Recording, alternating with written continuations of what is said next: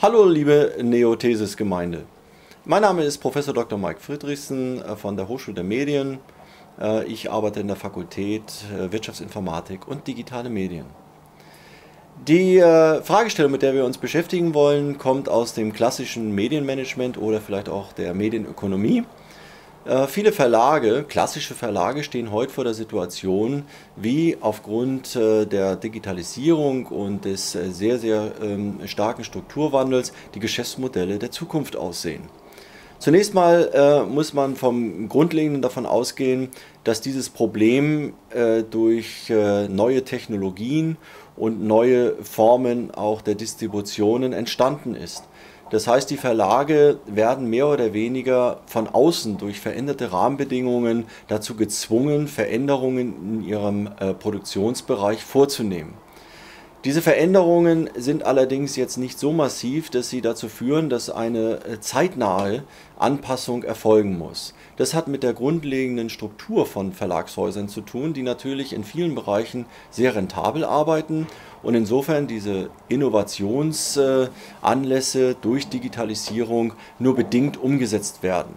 Nun wird die Frage äh, immer gestellt oder sehr häufig gestellt, ähm, wie lange können die klassischen äh, Vertriebsstrukturen von Verlagen aufrechterhalten werden? Also eine klassische Fragestellung wäre beispielsweise, wie lange wird es noch gedruckte Zeitungen zum Beispiel geben? Nun, wenn wir uns mit so einer grundsätzlichen Fragestellung beschäftigen, müssen wir uns äh, natürlich überlegen, was das eigentlich bedeutet. Die Frage ist, äh, Insofern, was sind die Alternativen? Es gibt heute natürlich durch das Internet und durch die mobilen Devices eine äh, häufige Ausweichmöglichkeit oder eine Substitutionsoption für viele Verlagshäuser, die allerdings einen kleinen Haken aufweist. Der Haken ist, dass es dafür kein Geschäftsmodell gibt.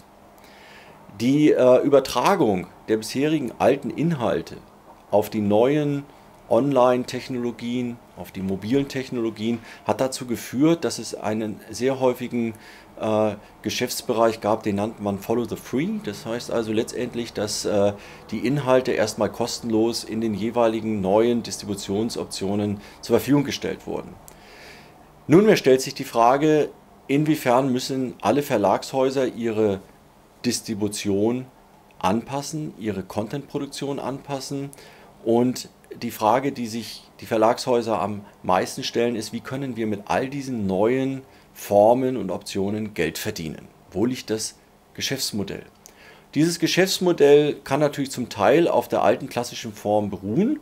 Wenn man sagt, okay, wir haben klassische gute Inhalte, nehmen Sie das Beispiel Lokalzeitungen, es wird auch in Zukunft sicherlich den Bedarf an lokalen News geben und es wird für die Menschen immer interessant sein, was in der lokalen Umgebung passiert. Die Frage ist nur, ob man dieses noch in der klassischen Papierform vermitteln muss oder kann oder ob dies auf neuen Distributionswegen erfolgen soll.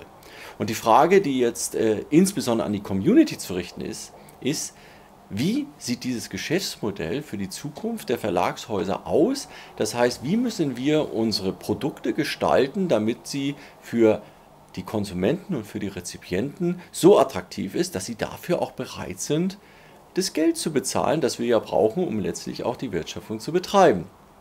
Hier wäre es sehr interessant, mit der Community darüber zu diskutieren, wie man sich beispielsweise eine solche Form von beispielsweise Tageszeitungen oder auch Zeitschriften in den nächsten zehn Jahren vorstellt. Was wäre ein interessantes Vertriebssystem? Was wäre ein interessantes Content-Management-System? Und was wäre letztendlich für Konsumenten und Rezipienten ein interessantes Produkt, das die Verlage zur Verfügung stellen müssten, um letztendlich dann auf diesen neuen Distributionskanälen auch erfolgreiche und letztlich auch refinanzierbare äh, Optionen zu gestalten.